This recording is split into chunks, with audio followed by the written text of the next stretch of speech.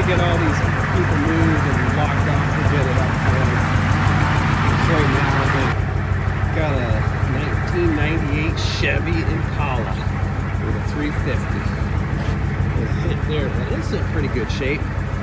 The ignition switch has gone out on it.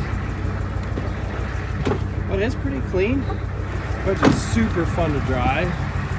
I'm gonna soup this thing up. Man, little oh, tail light, cosmetic, these are chrome tips.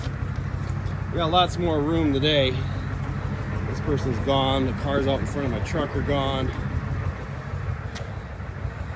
This one's moved over some, so I just pull it straight forward and skinny it up out of here.